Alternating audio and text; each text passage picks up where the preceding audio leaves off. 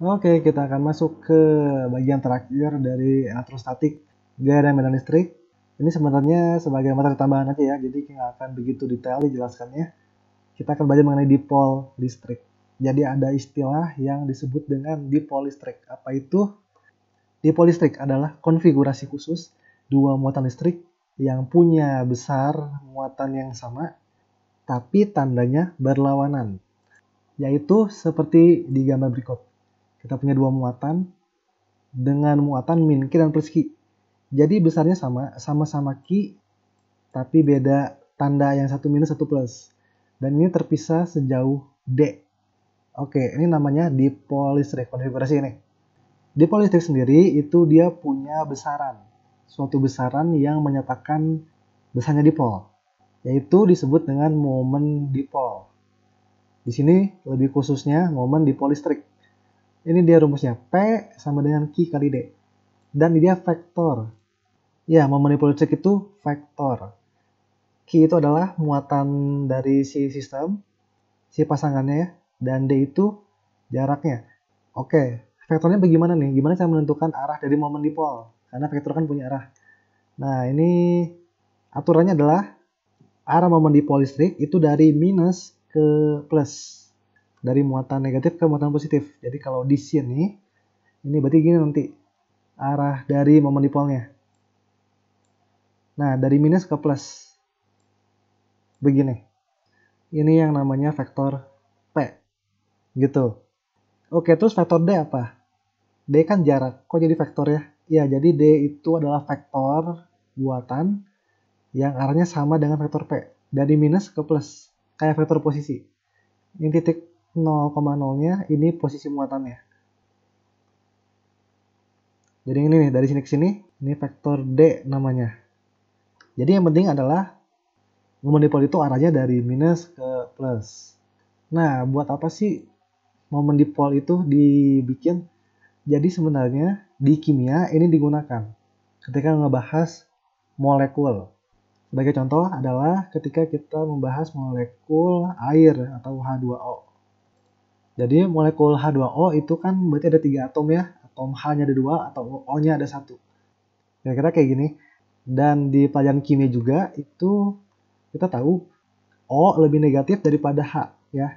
Hidrogen lebih positif daripada oksigen gitu.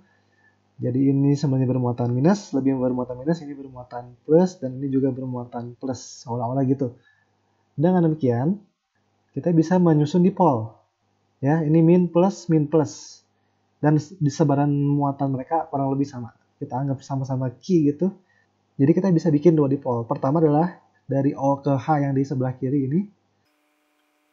Jadi gini ini momen dipolnya juga dari O ke H yang di kanan. Begini. Nah ini molekul mereka cukup simetris. Dan jarak antara O dan H juga baik yang kiri dan yang kanan itu simetris juga nanti kita bisa bayangkan resultan P-nya karena dia itu vektor ya itu nanti akan efektif ke bawah. Karena yang proyeksi ke kiri dan ke kanan akan saling menghilangkan.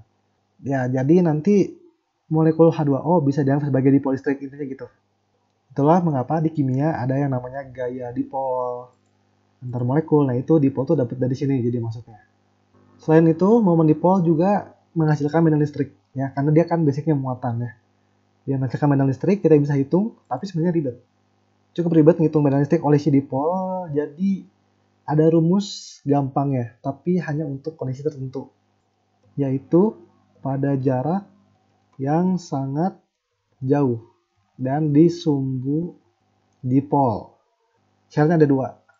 Ini jadi rumusnya tidak bisa sembarangan digunakan. Maksudnya adalah seperti ini. Jadi misalnya kita punya dipol ya dia representasikan sebagai panah ini, vektor P. Carilah medan listrik akibat dipol ini pada titik hitam kanan ini, pada jarak R dari si dipol. Itu ada rumusnya, dan rumusnya lain ini. E sama dengan P per 2P epsilon R pangkat 3. Dan rumus ini hanya boleh dipakai kalau R-nya jauh banget. Jauh banget ya. Dan terletak di satu sumbu dengan si vektor dipolnya. Jadi kalau ditanya berapa medan listrik di titik ini, nggak bisa pakai rumus ini harus pakai rumus asli dan itu nggak kita bahas oke satu lagi kita bahas perilaku dipol di dalam medan listrik. Sebelumnya kita pernah belajar kalau muatan ditaruh di medan listrik, maka dia dapat gaya F sama dengan Q kali E. Kayak gini ya. Jadi nanti muatannya akan bergerak. Entah searah medan atau berlawanan medan, tergantung muatannya. Plus atau minus. Nah, kalau dipol dalam medan listrik itu dia tidak bergerak translasi. Tapi dia akan berotasi seperti ini. Misal kita punya medan listrik E ke arah kanan, lalu kita taruh dipol listrik di ruangan ini. Jadi dipol listrik ini akan terpengaruh medan listrik dan dia akan muter berotasi, tidak pindah tempat, berotasi di semuanya, dan arahnya ke mana? Arahnya adalah sedemikian sehingga P dan E satu arah, gitu. Tadi jadi kalau tepat, jadi kalau posisi awal dipol di sini, maka nanti dia akan muter begini, secara jam-jam. Kalau posisi awalnya seperti ini, dia akan muter seperti ini. Begitu pula kalau misalnya begini nih, begini atau begini, dia pokoknya akan muter sampai searah dengan medan listrik. Nah, jadi muter kan ya. Dan kita tahu kalau ada objek berputar itu ada torsinya. Jadi kita kalau dipol plus medan listrik kita nggak ngitung gaya, kita hitungnya torsi. Torsi pada dipol listrik itu tahu sama dengan P momen dipol dikali E dikali sin theta. Theta itu apa? Ini, theta itu adalah sudut antara dipol dan si medan listriknya. Sudut yang ini nih, ini theta. Yang ini nih ya, ini theta. Selain itu, sebenarnya dipol juga kalau di dalam listrik dia punya energi. Ada energi potensial, energi potensial dipol. Tapi energi kita nanti energi listrik kita akan bahas di video-video yang berikutnya. Ini sebagai gambaran awal aja. Kalau di polistrik itu energinya seperti ini. Minus PE cos theta. Seperti itu. Jadi memang di polistrik itu beda ya sifatnya daripada muatan listrik biasa. Oke, sekian untuk pembahasan materi kali ini. Semoga ini yang memberi wawasan lebih mengenai dipol listrik.